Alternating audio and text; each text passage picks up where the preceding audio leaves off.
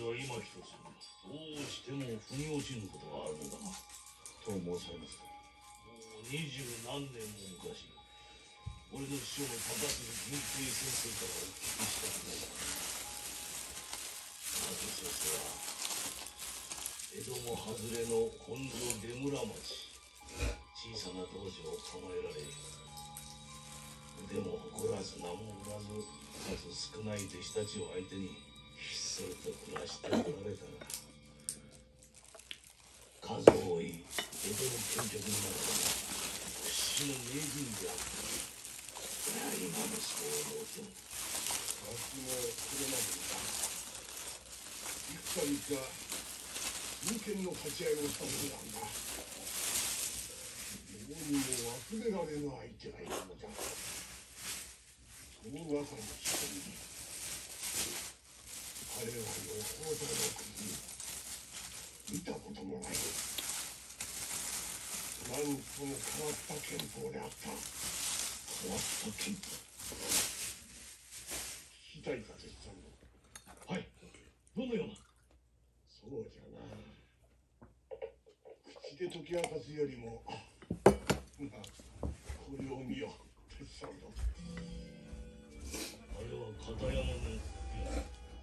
この俺の羽織や着物に残っていた切り口とそっくり同じ刀傷であった。そうとしか思えん。あの刀傷は今でもはっきり目に焼き付いている。高杉先生の申された変わった憲法というのも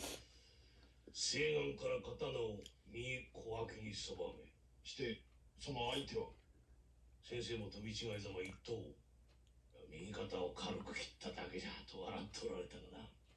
勝負は引き分けということに。うん、相手の名は堀本白道。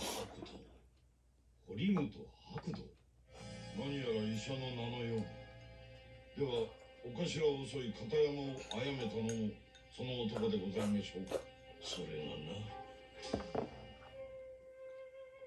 その堀本白道という剣客すでに七十を超えているはずだ。いや高杉先生が立ち寄った時年の頃は四十前後に見えたそうだ。しかしそのように変わった剣法それほどまでに腕の立つ剣客めったに用とは思われません。その憲法を堀本白道は自ら草案したと誇らしげに申しておったそうだ。名付けて雲流剣雲流剣すなわち突如黒子門を破って相手に襲いかかる竜神に例えたものか。